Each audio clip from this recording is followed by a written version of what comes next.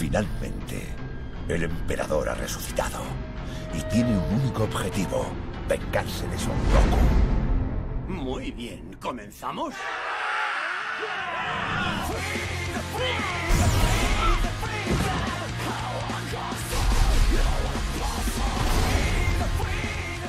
Permitidme que os muestre mi última transformación. Bueno, ¿qué os parece si ahora seguimos con mi venganza?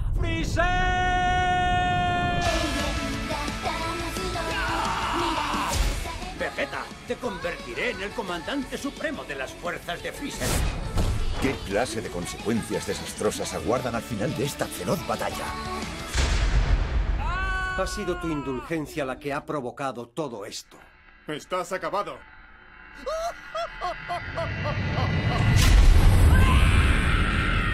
Dragon Ball Z, la resurrección de Freezer.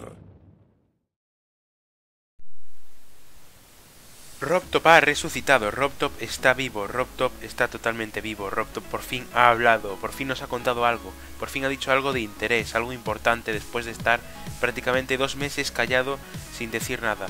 Antes que nada, eh, hola a todos y bienvenidos de nuevo al canal, como digo siempre, y antes que nada comentaros que estoy acatarrado, bastante acatarrado, y si se oye un poco abajo mi voz es por ese simple hecho de que estoy acatarrado y no puedo hablar muy alto, pero quería hacer este vídeo ya que hay bastante información importante de la 2.1, nada sobre su fecha de lanzamiento, eh, que aún, aún en, principio tiene para rato, ¿vale? O sea, lleva casi 14 meses eh, y aún puede seguir, un año y dos meses prácticamente, pero bueno, yo ya de la espera, me da igual ya que salga o no salga, sinceramente la mayoría nos está dando igual, estamos empezando a jugar otras cosas, y estamos empezando a olvidarlo. Ahora ha sacado esto para aumentar el hype durante 5 minutos para luego que todos nos volvamos a olvidar, porque la cosa va a ser así. Robtop en un directo de Crazy Man ayer empezó diciendo eh, que puede darnos un pequeño spoiler si queremos. Apareció ahí, uh, I can give you a small spoiler if you want. Y la gente obviamente, bueno, pues le dijo que sí porque quiere saber algo más. Y es el catarro. Empezó a contar algo, eh, contó una nueva una, novedad que va a estar en la actualización 2.1 que van a ser los niveles marcados por épico, ¿vale? Eso va a marcar los, eh, la marca de Feature para que tenga como un aura de fuego. Lo explico. Yo creo que se puede entender bien, pero lo voy a explicar. Eh, los niveles pueden, tener, pueden estar sin reitear ni siquiera, o sea, que son la mayoría de ellos. Luego están los que tienen estrellas, pero solo estrellas, no tienen una marca amarilla de Feature de alrededor esos niveles tienen, al creador les dan un Creator Point. Luego están los Features, que son, es la máxima categoría hasta ahora que tienen esa estela dorada, esa aura dorada alrededor, que además de tener estrellas tienen esa aura dorada, y que al creador por eso le dan dos Creator Points. Pues por esto épico tendría en lugar de un aura dorado un aura de fuego, el nivel se llamaría así, o sea, sería un nivel epic, sería esa marca, la de fuego sería de nivel epic, y eh, dice Robtop que da un, un Creator Point extra, es decir, que al creador se le van a dar 3 Creator Points por tener este nivel marcado, su nivel marcado como épico. ¿Qué hay que hacer para tener un nivel marcado como épico? Good gameplay, buen gameplay, música, estilo, etcétera, igual a epic level. Vamos, que hay que combinar un buen gameplay con una música eh, bien elegida para ese nivel y un buen estilo, una buena decoración. Eso hace que Robtop le dé epic a algunos niveles pero esto no va a llegar, eh, vale, hasta la 2.1, según dice más adelante, dice que vas a, seremos eh, capaz, podremos buscar por niveles epic, pero no va a tener una página única como si tienen los features, como si tendrá los daily features que ya hablamos de ellos hace la tira de tiempo cuando los anunció en febrero, en marzo, ya no lo recuerdo. Y luego eso, también dijo que mm, estos, estos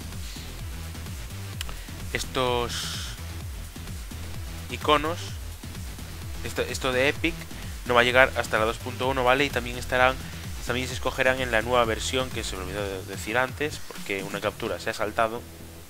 Also Epic Levels will be chosen in the new free version later. Es decir, en la nueva en el nuevo juego de Geometry Dash que Robtop tiene preparado. Y luego pasamos a la segunda parte del vídeo, ¿vale? La primera iba sobre esta nueva marca Epic, ahora vienen los cofres, va a haber cofres de suministros tipo Clash Royale, ¿vale? Para que os hagáis una idea. Eh, dice que solo son un bonus divertido, que da igual que si te pierdes 4 horas de cofres, no pasa nada. Dice que habrá eh, los, mm, los cofres diarios, pues se desbloquean cada 24 horas, ¿vale? Eh, cada 4 horas y timing de 24 horas, ¿vale? ¿Y qué comenta de los cofres? Comenta de los cofres de 2 horas, está hablando ahora de cofres de 2 horas, te dan orbes, diamantes y un casco random o un premio random. Shard es casco, según el traductor de Google, ¿vale?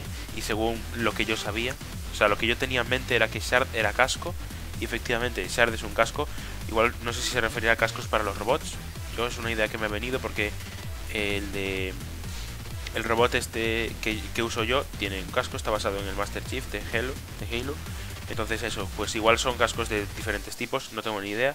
Luego dice que los cascos, o sea, los cofres de 4 horas te dan orbes y una pequeña eh, probabilidad de diamante y o casco.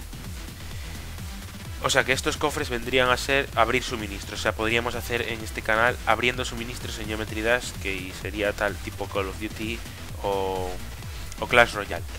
Y en esta última parte del vídeo eh, pongo estas dos capturas, que dice Roto que estaría bien crear una nueva dificultad, un nuevo icono de dificultad, ya no las diferenciaciones entre los iconos de las que hablábamos aquí hace tres meses, una nueva dificultad llamada Crazy Demo, ¿vale? Para niveles real, realmente difíciles como estáis viendo aquí.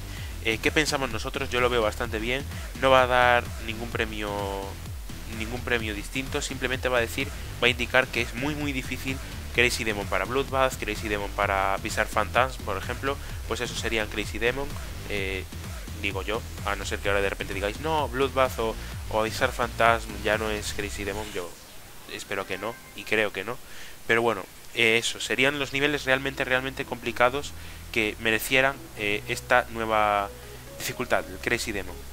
No sé qué pensáis de todo, de todo esto, chicos, de todas estas informaciones de RobTop. Eh, lo único seguro es que todavía no tenemos fecha y no la tendremos hasta dentro de mucho tiempo, yo creo. Esto va todavía para largo. Ha estado metiendo más cosas de las que eh, nos dijo. Así que al final está tardando mucho. Espero que os haya gustado, chicos. Dejadme por aquí abajo qué es lo que opináis vosotros de, de todo esto. Un saludo y hasta la próxima.